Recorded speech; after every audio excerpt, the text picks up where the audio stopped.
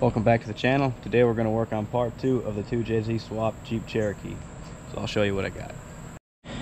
I bought a 2JZ, it was VVTi out of a 2001 Lexus GS300 which has an A650E and everything on the internet says the A340 you just take the input shaft and the front pump and it'll just go right in there in the AW4.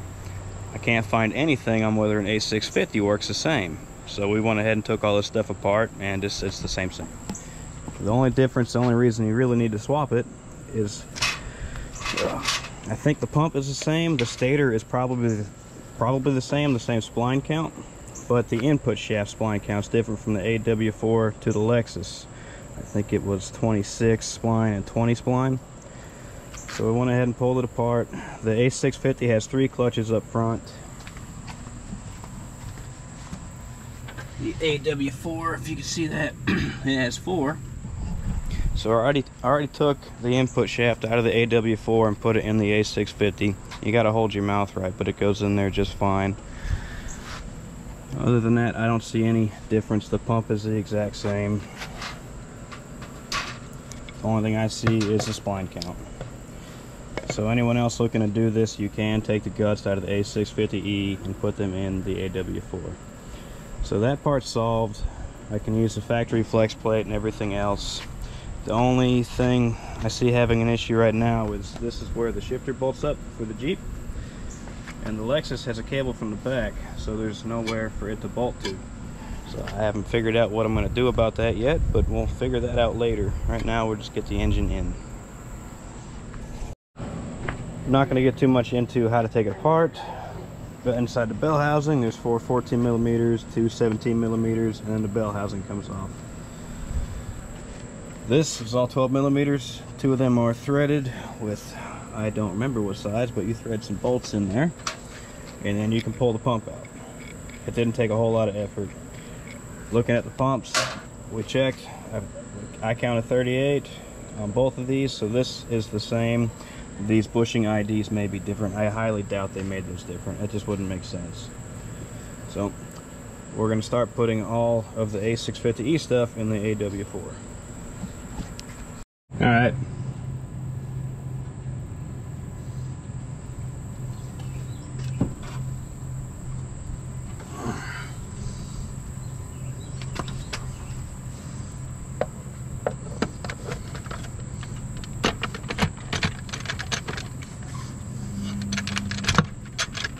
All right, that's all the way in. Now grab the pump.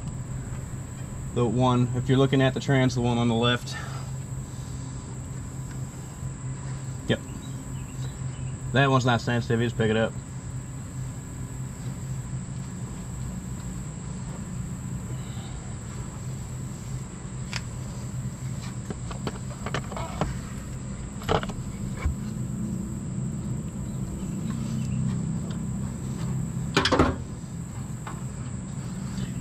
Bolt for a guide. you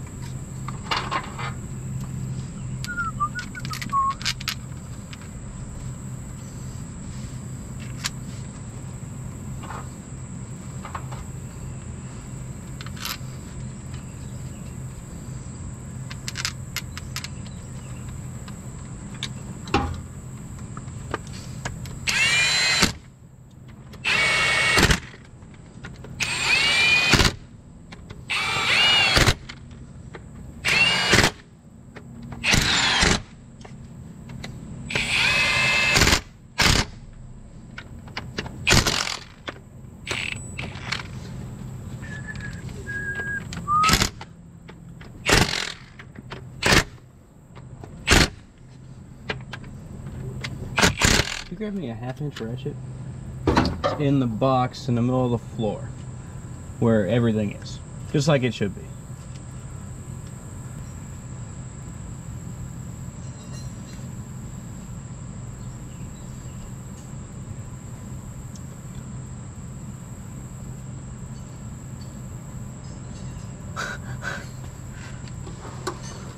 Did you find it? It's a big ass half inch ratchet. Not a wrench. Big ratchet.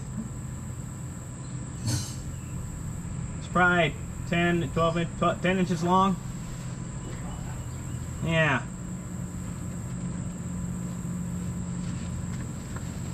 Ah, not that one. There's a smaller one.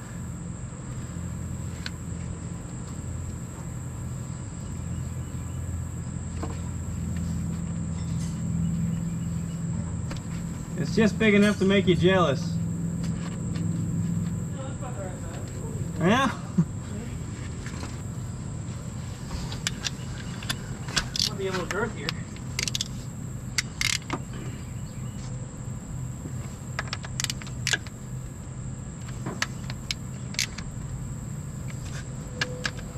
I'm sure there's a torque spec. I'm sure this is good enough.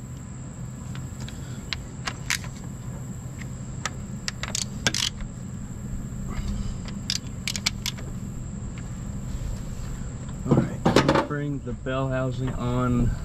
Well, let's rinse it out. Bell housing. Please, sir.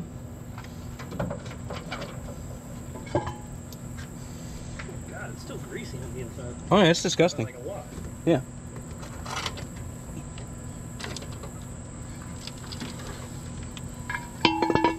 That's future me's problem.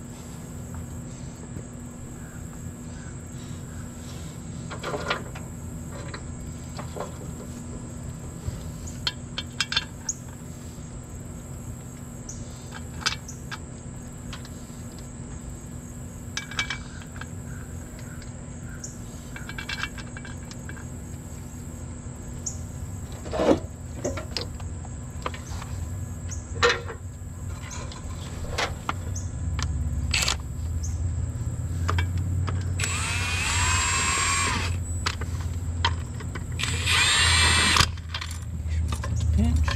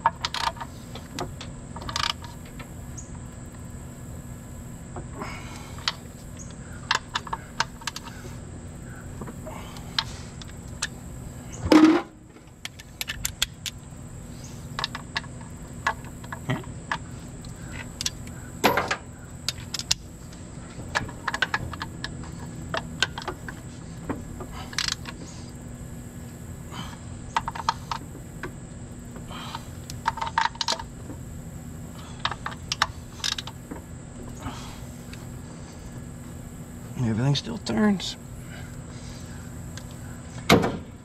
There's a torque converter over there on that side. Can you grab it? No, over there where my finger's pointing. Oh, That way. opposite direction. Opposite direction. Is that what this is? Yep. Big round thing? Yep. Oh, don't, don't tip it, tip it the other way. Tip it the other way. It's full of fluid. Yeah. Now, now, now it's on you probably. A little bit. Oh God, it got warm. That's the first time it got covered in fluid. I know.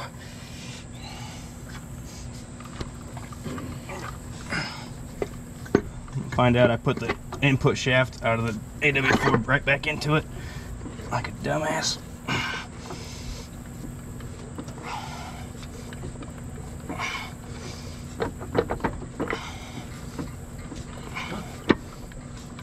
And find out I put the, the same input shaft back in it. There we go, it's in. Hell yeah. Now the engine will bolt to it.